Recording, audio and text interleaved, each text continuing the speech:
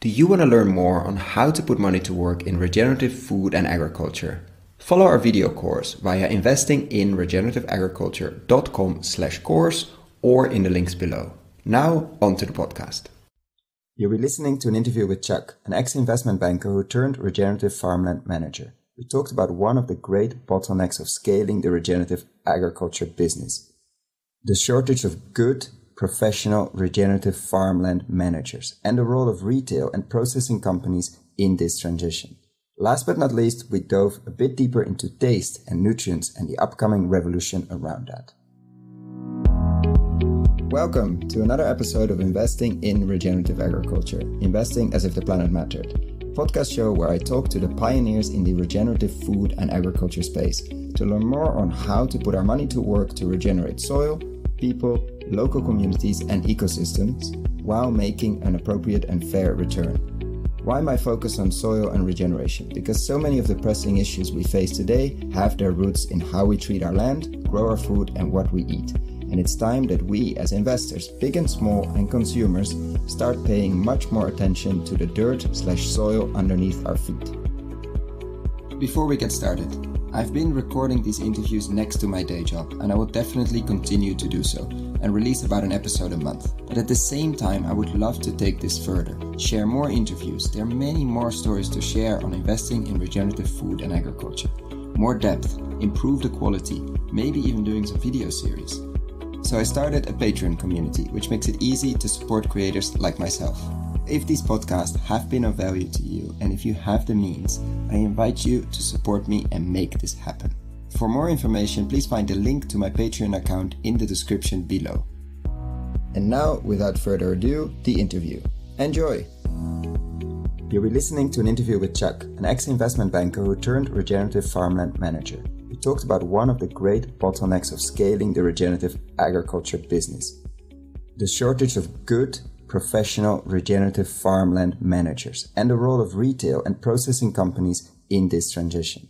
Last but not least, we dove a bit deeper into taste and nutrients and the upcoming revolution around that.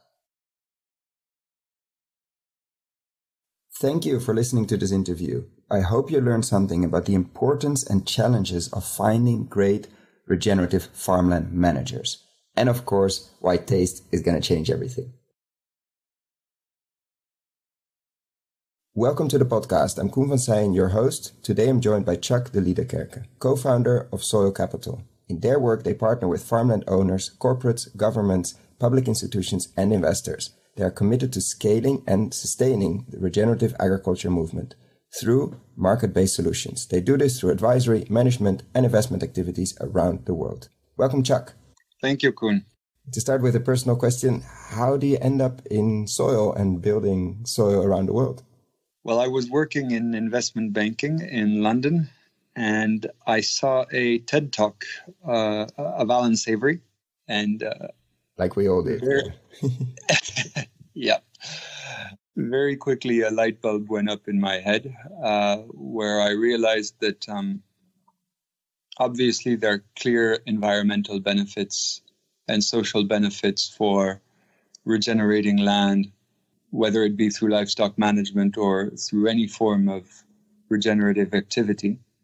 But economically, if you can buy a marginal asset which is unproductive and transform it not only into a fertile piece of ground, but also have an operation that is yielding cash flows on it, then you're very powerfully aligning environmental outcomes and good financial performance. And the question that went up in my head was Is there a case that regenerative agriculture could be more competitive than conventional agriculture? If you look today at the own and operate models of farmland businesses where they own the land and operate on that land. The return on invested capital is in the mid single digits.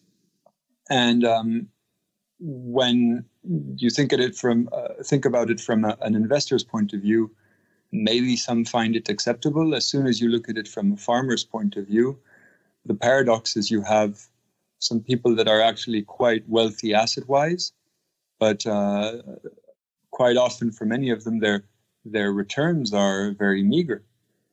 And the whole value chain around agriculture today is optimized, or so we would suppose, in order to help those farmers achieve the best potential return on investment out there. And today that is 5%. Is it possible that uh, we can give them 6% or 7 Which is a bit disappointing when you come from investment banking. well, it depends on the asset class, but uh, yes, you, you suppose you could do better, or you, you'd hope for. You'd hope for that. The point here is if you can outperform conventional agriculture, all of a sudden you can demonstrate that the right economic choice for all of the players that are pooling their money into land, into working capital, into um, equipment, all the manufacturers of that equipment are going to start serving farmers that are going to go for that extra one or two percent that regenerative agriculture could potentially deliver. And the moment you demonstrate that the right economic choice is regenerative, you have the potential to completely transform how capital is allocated in agriculture. And there are trillions of dollars allocated throughout the agricultural value chain. If you want to drive meaningful environmental change, you're going to need to make it more profitable than the current state of affairs. And when you realized that, where did you start from investment banking in, in I'm, I'm, assuming, a fancy office to building soil and, and founding soil capital? yeah. The initial idea was we would become a fund. I partnered up with uh, our two co founders today, uh, Nicolas Verschuere, who's a Belgian farm manager with experience in uh, broadacre farming initially in many different uh, large scale operations around the world. And um, Alex Traynor, who's a banker from a development bank focused on agribusiness credit. And uh, our idea initially was to invest in marginal farmland regenerate the fertility of that farmland through regenerative practices and hopefully deliver the financial performance that went along with it. What ended up happening is that um, we became managers of portfolios that were already existing. And we also helped out as consultants for other farmland owners that already had their management in place. Our approach has always been to um, look at these uh, operations and incrementally change them as to not compromise uh, cash flow generation. Typically, what we do is uh, we look at the agrochemical package that is currently being applied on the land and uh, through a more fine-tuned analysis of what the plant requires in terms of nutrition and protection, adapt a package that is all too often very standard and very conventional to the plant's needs. That will immediately allow for some savings to occur. And part of those savings we flow back to the owners of the, the farm. Another part of those savings we reinvest in trial areas to demonstrate that the regenerative practices will deliver better financial outcomes. So we'll we'll plant a cover crop, we'll apply some compost, we'll invest in some no-till equipment, and really try to demonstrate as fast as possible that no short-term economic impact, negative economic impact, was necessary to kickstart a transition and to continue that transition. So you're you're basically looking for some inefficiencies or waste in the current chemical mix or the current input that, that this farm or this farm operator is applying. And then by becoming more efficient on that side, freeing up some cash flow, first of all, for the owners, so they, they, they are still happy. And second of all, to start trying some regenerative, the first regenerative steps on some trial patches, but not doing that on the full scale yet, because that would be too much of a, of a shock. Uh, for for the whole system involved. And of course, if you if you prove it on the small batches, then the scaling up towards the, the more efficient but still in in non in regen uh, um, managed patches is should be quite straightforward. Yes, the idea is really to get the landowners or the farm managers that are on location convinced about the merits of our approach. And unless they can really see it for themselves, the risk of setting yourself up to fail is very big. So, that initial trial period for us is necessary simply in order to have the right relationships with with the farm managers.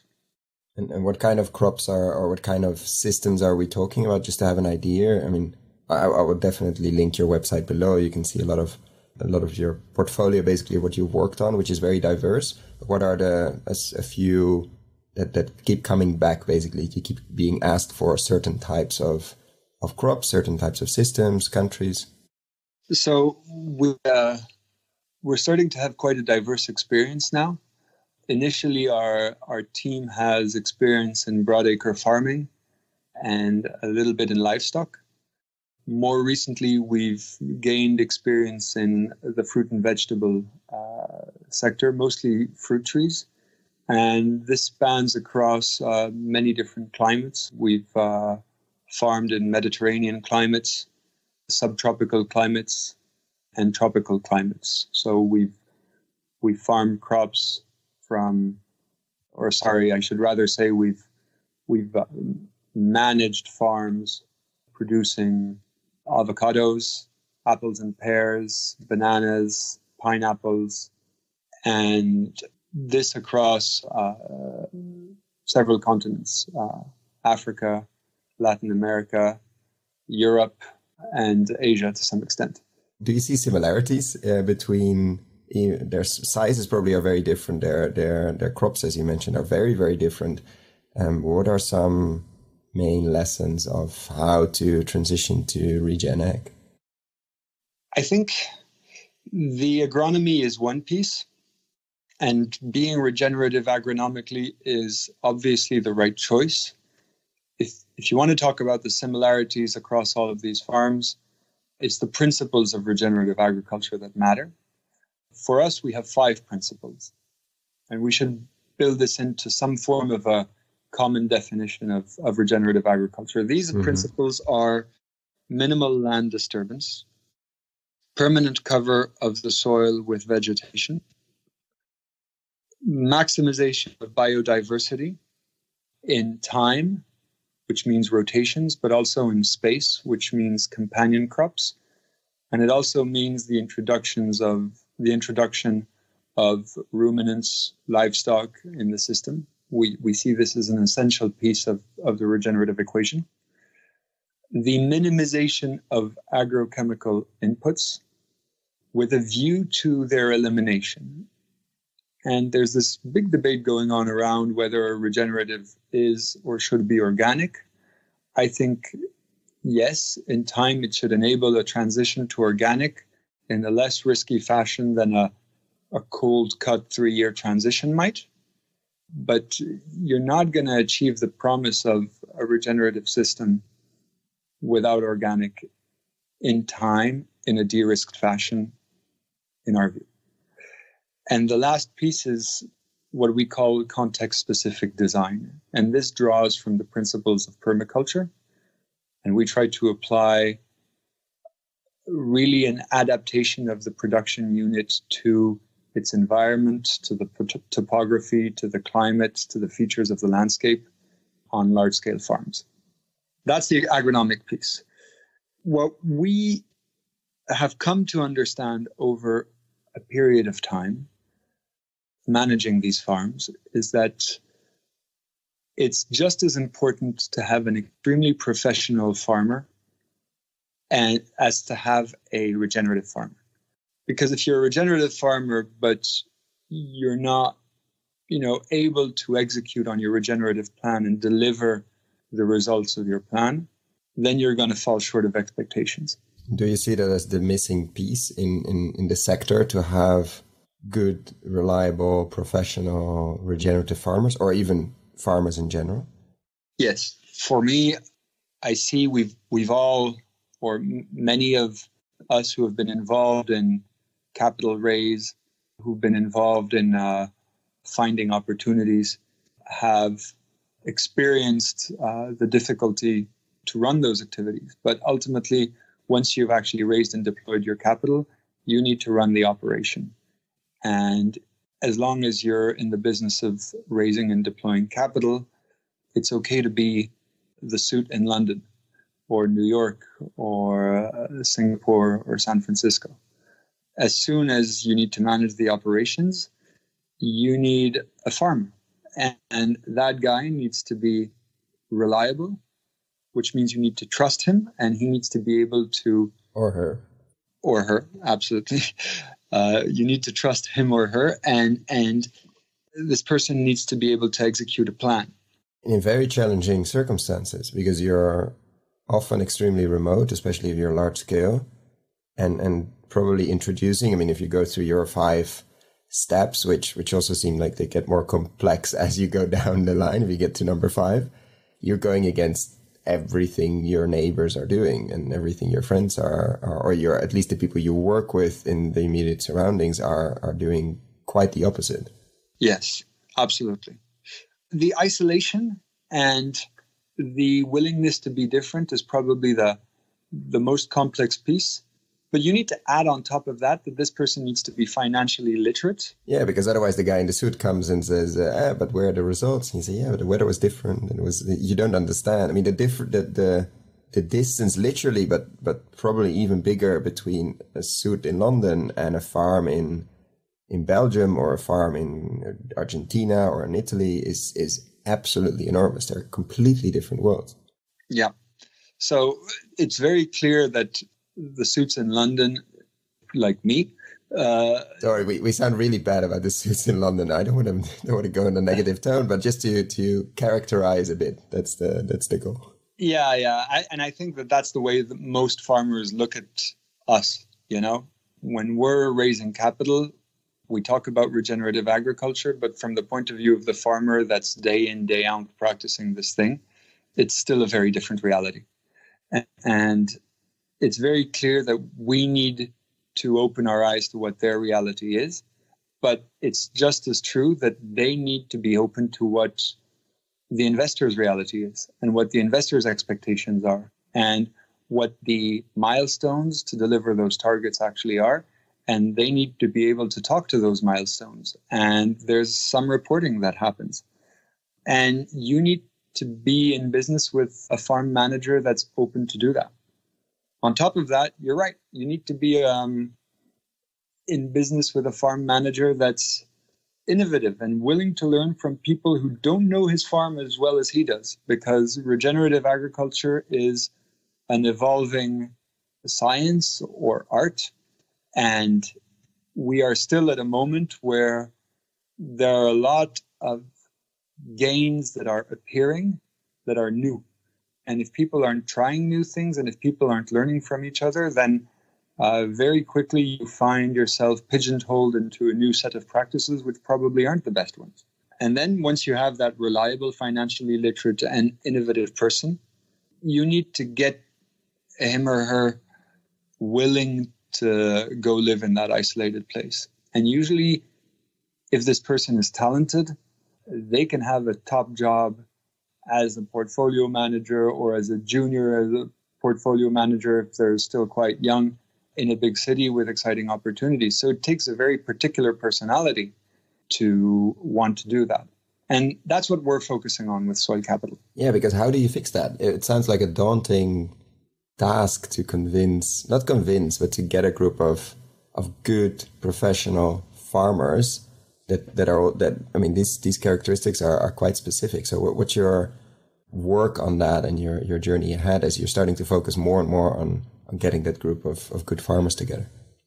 So the way we'll work typically with a, a farm that wants to transition to regenerative is we will send a person, usually a person that has degree in agronomy, who has several years, five to 15 years experience in managing large scale farms, and who's willing to live on location for at least a certain period of time.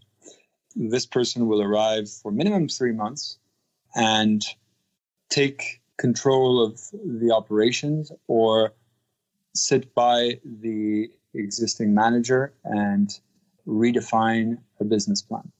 More often than not, to be fair, for a while, uh, these people take control of the operation.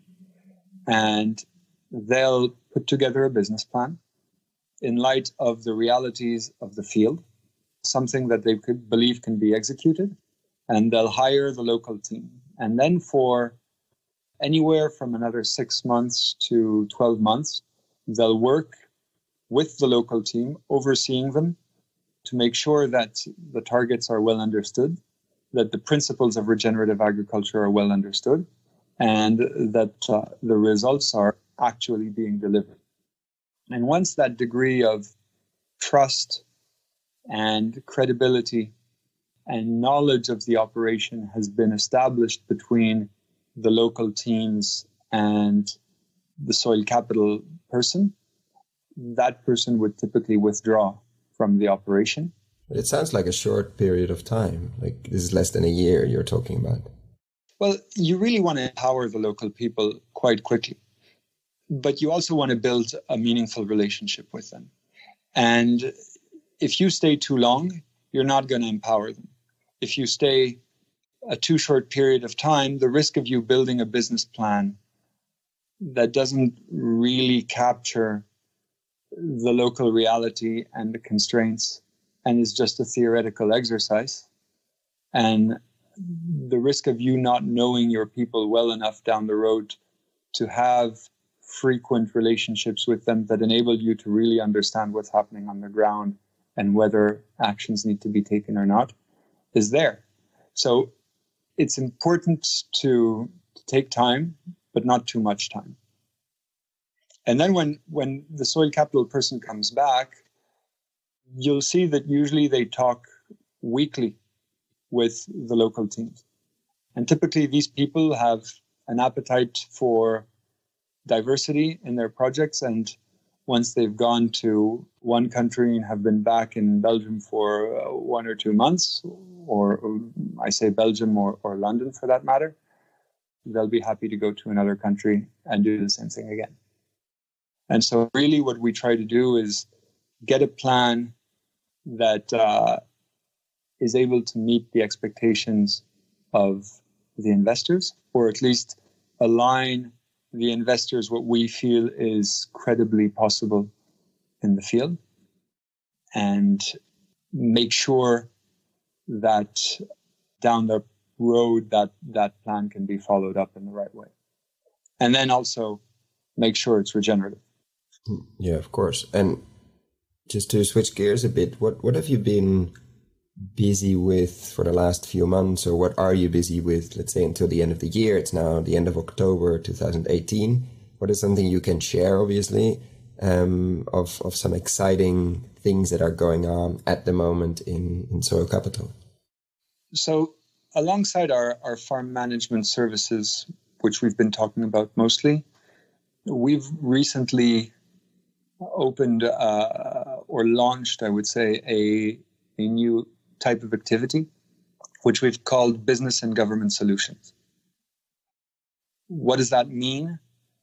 We have realized that the farmers usually are very good at controlling their costs, very good at optimizing their volumes. But when it comes to price, most farmers are still price takers. And that's very understandable. But when it comes to regenerative agriculture and you're farming a crop that's better for the planet, that's probably healthier for people. Why do you say probably there? Well, health claims are yet to be proven, and uh, I'm I'm cautious of of asserting too too quickly things that aren't proven. For sure, it tastes better, right? For sure, it tastes better.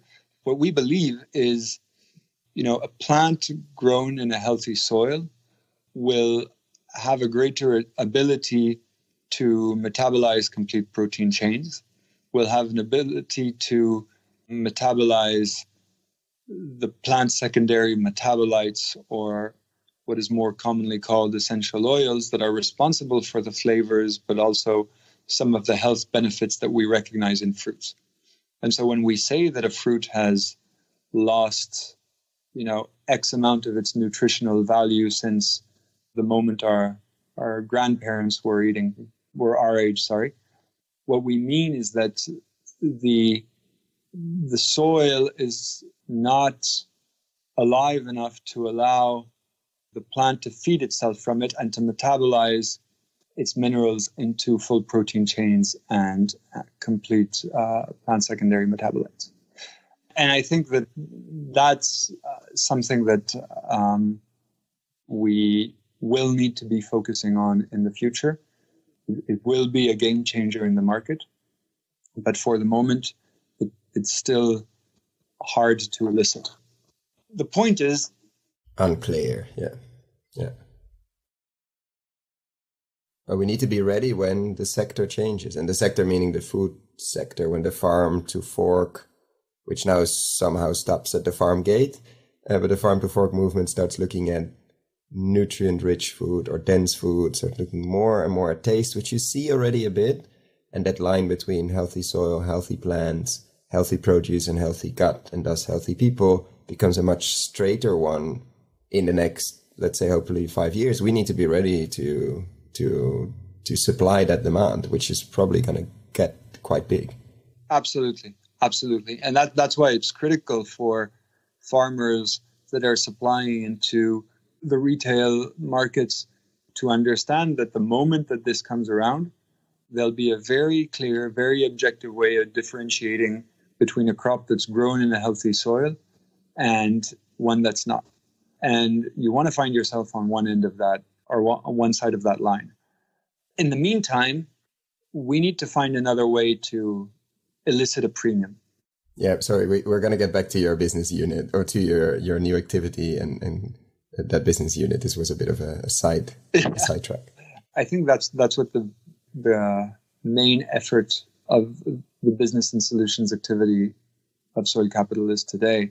It's to engage with those buyers of agricultural products, whether they be retailers, whether they be food chains, whether they be processors and manufacturers of food products, to understand how they can meet an increasing demand for regenerative crops that's happening. I think um, in the market, you're seeing that this is this is appearing. Uh, a company like uh, Carrefour, the, the French retailer, has made very clear statements about their agroecological commitment, which is just another word for regenerative agriculture. Yeah, and just to background, yep. I think Carrefour is like the second largest uh, supermarket chain in the world. I think after Walmart. So this is this is a big deal. Even if they are the third or the fourth, it's a huge. It's not your local I five shops and, and super sustainable organic shop. It's a gigantic uh, machine. And there are others. There's there's Danone to name another French company. Is France leading the way?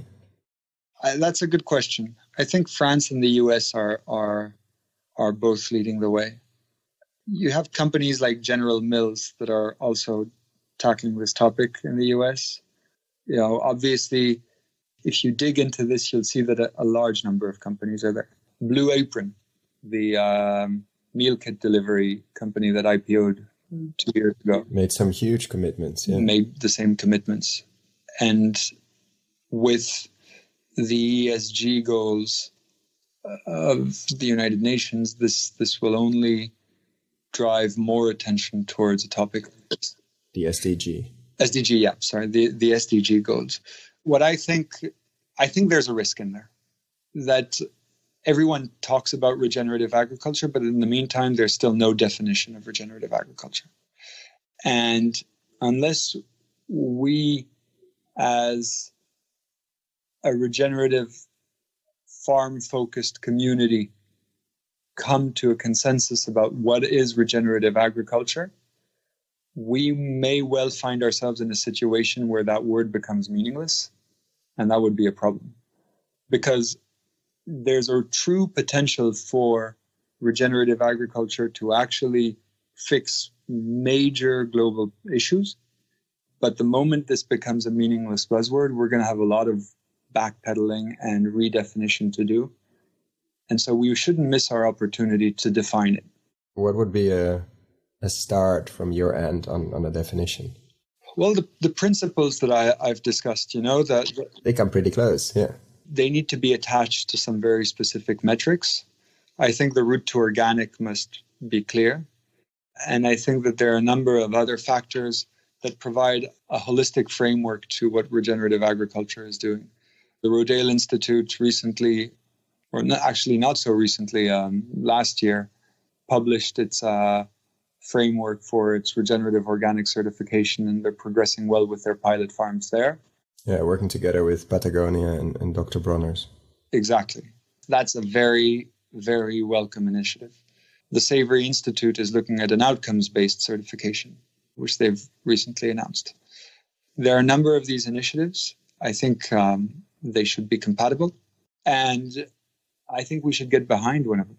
And, and both of these are in, in, the US. Do you see something in, in Europe, maybe in France, if, if France is leading the way here? Do you see something, let's say, outside the US that is um, pushing on this?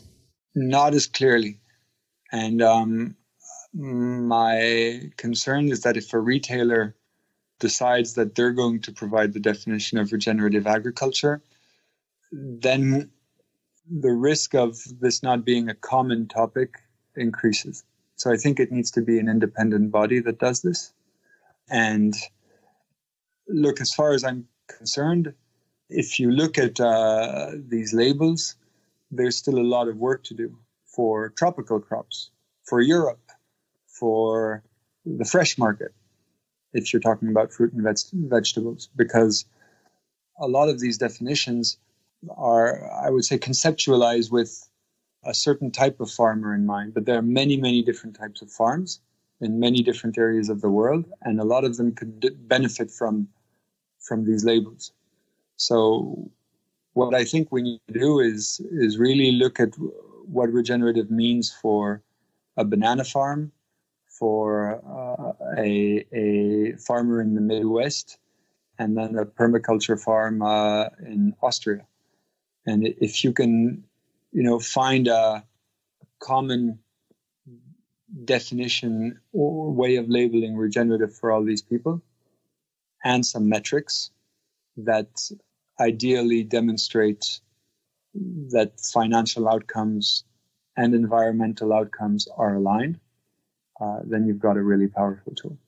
And and is that something you're going to be focusing on, or you are focusing on at the moment with this new business unit? No, the, the, not not directly.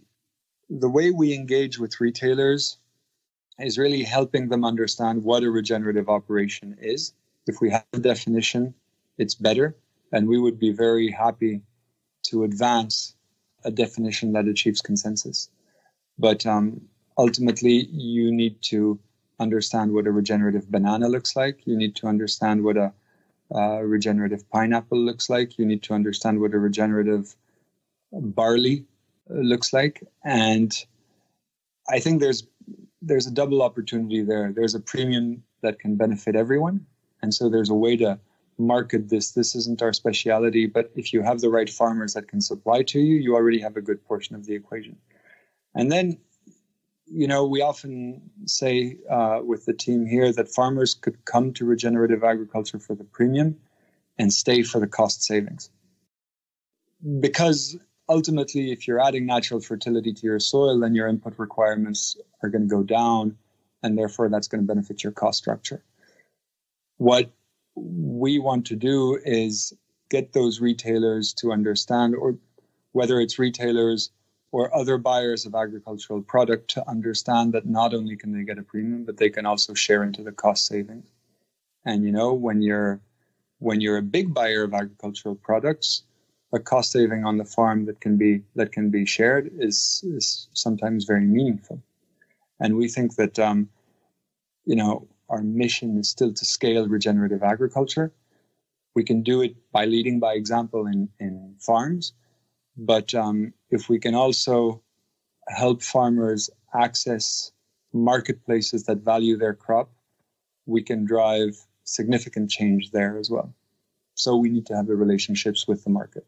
Yeah, the the journey doesn't stop at the farm gate, and, and I would love to check in on a later stage when there's some projects under your belt, which um, is going to be very interesting to dive in deeper because I see that with a lot of a lot of people on, on this show and a lot of people in general in regen ag and food, like you need to somehow um, catch part of that premium um, because you you've created so many externalities, positive externalities for the rest of the world. If you're only being paid and compared to the next barley or to the, the, the normal pineapple, you're really missing out, um, which is a shame. Until obviously the whole healthcare uh, discussion we had before uh, becomes much clearer. This is a, a, absolutely crucial crucial route.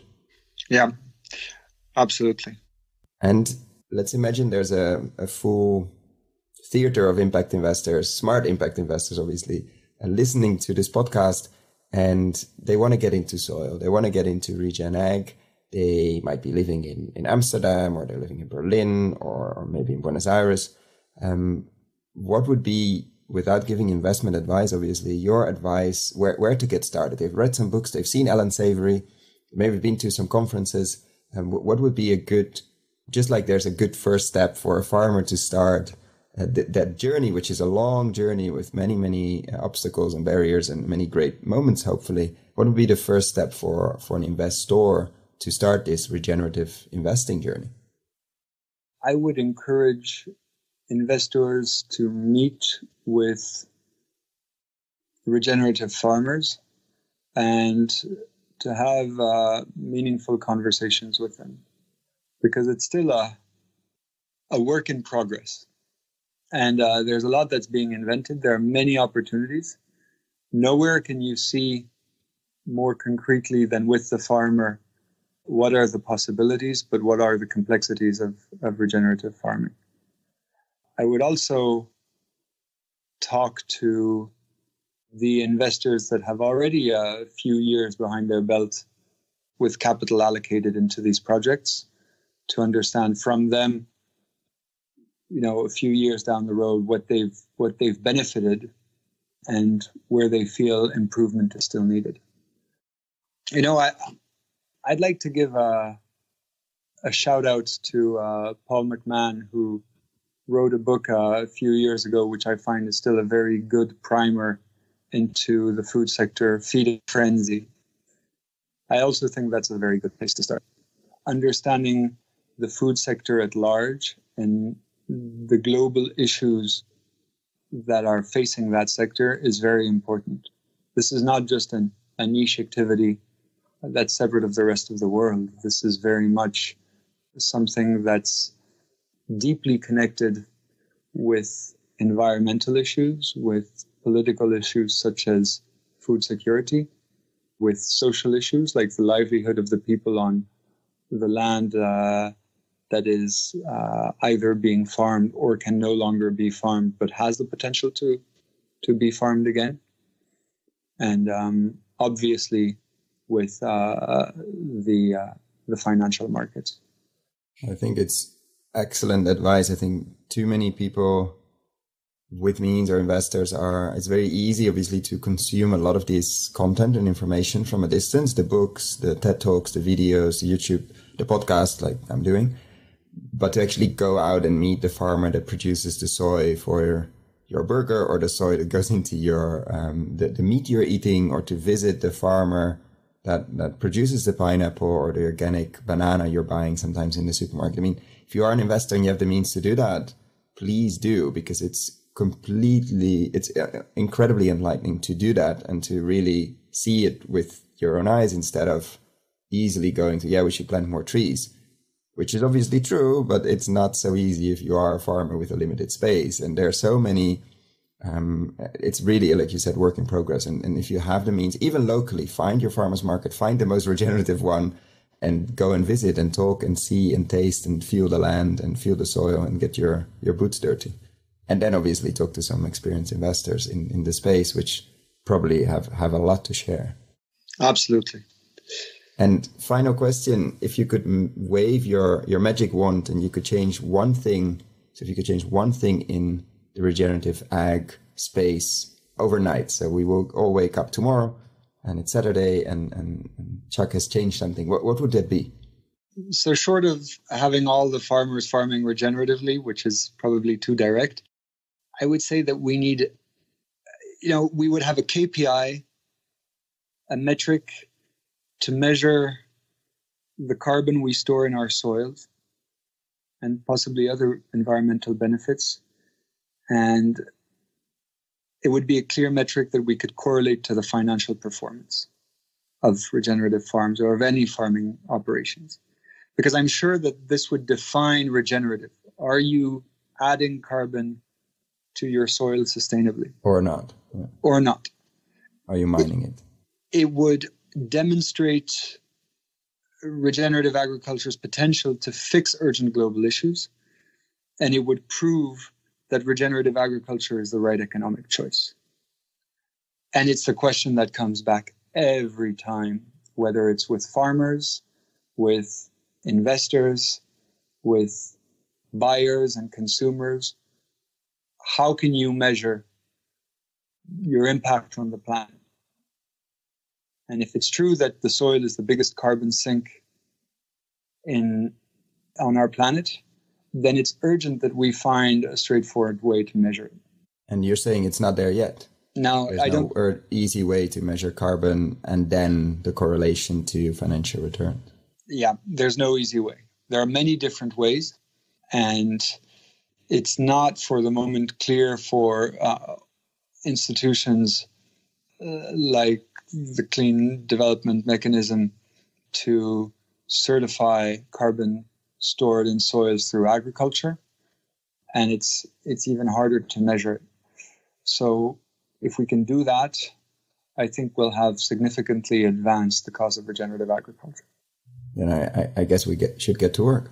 I mean we have a day until tomorrow is saturday. No i'm joking. But i i do see that it's a it's a huge every time I, I discuss metrics almost everyone comes back to carbon. Like it, it's not the perfect one, but it's probably the crucial one that, that everything else relates to. Of course, you have the social part. Of course, you have the water part. Of course, you have the nutrient part. But without the carbon, all the other parts probably aren't there. So that seems to be really the almost a linchpin in the system in this case. Yeah, yeah, it's the best proxy. That that's clear. Yeah, the best proxy. I was looking for the word. Yeah. Uh, yeah. So I want to thank you so much Chuck, for, for your time this morning, sharing updates and, and sharing some very exciting work you, you're working on. And I'm very much looking forward to checking in in a couple of months, in a month or six or a year to see where you're at because our space is moving so fast that, that many update calls are necessary. Thank you. And congratulations for your podcast. It's very useful work. And I hope there are many other interviews uh, where we can discover the other people that are doing great work out there. Yeah, you're number 43, so you're, I, I hope we're going to add many, many others. I, I truly hope so. Thanks.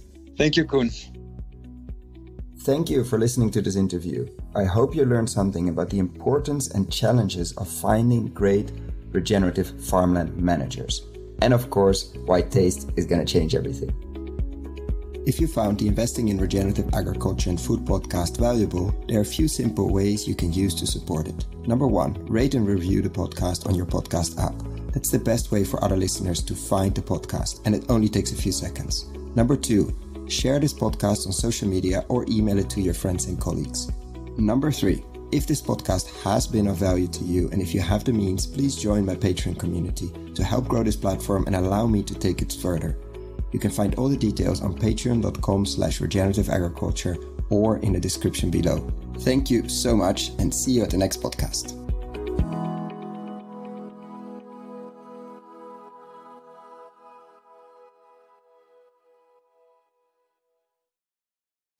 Dear friends of the podcast, I'm super excited to share with you the online video course Investing in Regenerative Agriculture and Food. How to put money to work in regenerating soils at scale and growing a lot of tasty food while doing it.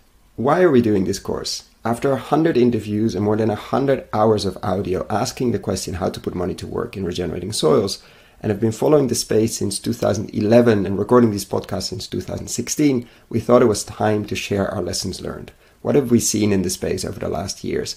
How have we built our decision making framework? What to focus on with the podcast? How have we picked interviewees? And what questions should you ask? What is happening in the space? What should you read? What should you uh, listen? What should you watch? How to approach this space?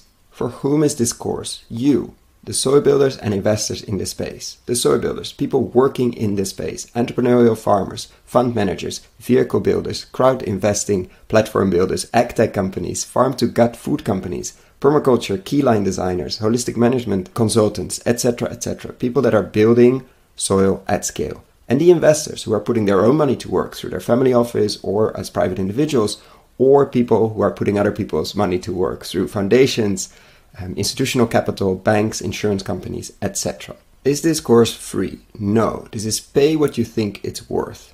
Meaning, I have no way of knowing what this course will be worth to you. And I'm very aware that among the listeners of this podcast, um, we have people with very different means. So I'm inviting you, if this course is creating value to you, and if you have the means, to consider paying what you think it's worth. Thank you. So, what is this course? It's currently a series of 17 videos, mostly ranging from 10 to 15 minutes, plus PDF slides, so you don't have to ride along. We're gonna look into why invest in regenerative agriculture and why extractive agriculture is so risky, how to invest, what kind of frameworks you could and I think should build, what to invest in, uh, what kind of co investors you could find, or what kind of investors you could find if you're a soil builder. Every lesson will have a digging deeper part where I will share what kind of reports, what kind of interviews, what kind of videos you can look into if you want to dig deeper. We're going to look at nutrient density, landscape design, and a lot more. So, what is it not? It's not a list of investable deals. Unfortunately, that doesn't exist in this world. We're really at the beginning of the regenerative agriculture and food revolution. It's also not investment advice. Before making any investment, please find professional investment advice. So get ready, get a cup of coffee, a cup of tea, or whatever you're drinking. Click on the link below, sign up, and I'm really looking forward to your feedback.